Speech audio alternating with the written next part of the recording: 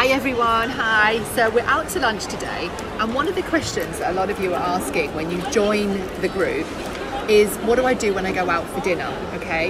Now, if you're strictly, strictly whole food plant based, it can be difficult. Don't get me wrong, there's not many restaurants out there that do a whole food plant based meal. Um, but you can get around it different ways. You can order various sides, so there might be a jacket potato with some steamed broccoli, you know, and some steamed veggies and a side salad. And you could ask with the salad to put the dressing on the side so that you can just make sure there's not any oil in it. Um, or you can ask, do you have an oil-free dressing? Um, but usually you would want to go and order lots of different side dishes because it's rare that any restaurant would have a whole food plant-based dish on their menu. I'm in the UK and we've come out today to Frankie and Benny's, which is a large chain here in the UK, and I haven't been so I haven't been to Frankie and Benny's for a long time, so I got cut off there. Um, and I'm so happy to see that they have an actual vegan menu.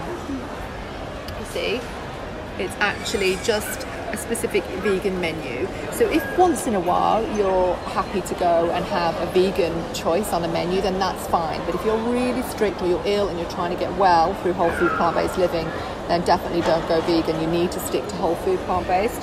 Um, and so I'm going to tell you what I've chosen for my dish. And I don't know if you can see it there. I'm going for the Mediterranean salad. I'm so excited. It's got couscous, bulgur wheat, black lentils, butternut squash, broccolini, spring onion, and a vinaigrette dressing. So I've ordered that and I've asked them to put the dressing on the side just so I can inspect it and see because um, it will just be out of the bottle. So here's my salad, and they made a bit of a boo boo. They didn't put the dressing on the side. So you can see this salad dressing actually does have oil. You can see it is quite oily. I mean, look, it is full of oil.